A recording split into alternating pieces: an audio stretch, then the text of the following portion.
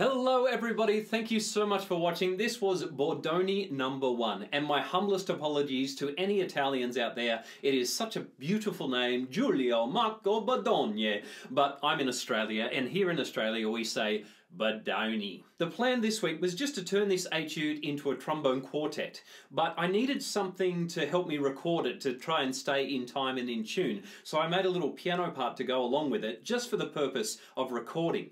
But when I listened to it back, I, I quite liked it with the piano part thrown in. So after this, I'm going to play it just as the trombone quartet, and I'd really love to know which one you think sounds better. So let me know in the comments, do you like it with the piano or without? If you want to get your hands on all of the trombone parts and the piano part, which is super, super simple, then head on over to patreon.com slash Kyle Raftery, and you'll find out lots of ways that you can support this channel and get access to a whole bunch of goodies over there. Thank you so much to the patrons. You are all legends. Stick around for the trombone only version, but I will leave two bars of piano just to count you in. Thanks so much, and I'll see you next week.